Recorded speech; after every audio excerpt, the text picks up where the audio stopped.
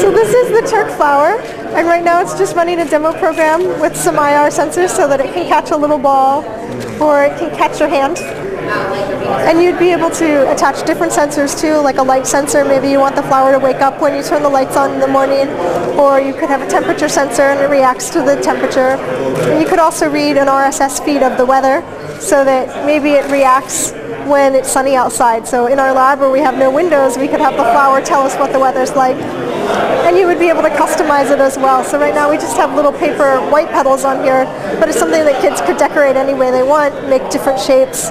And hopefully once you've built the flower using our step-by-step recipe, you'd feel empowered to go and make your own design as well. So it will give you the experience to see where to buy different types of parts and how to put them together. And once you've had your hands dirty, gone through it once, then our hope is that people will make changes or make their own designs.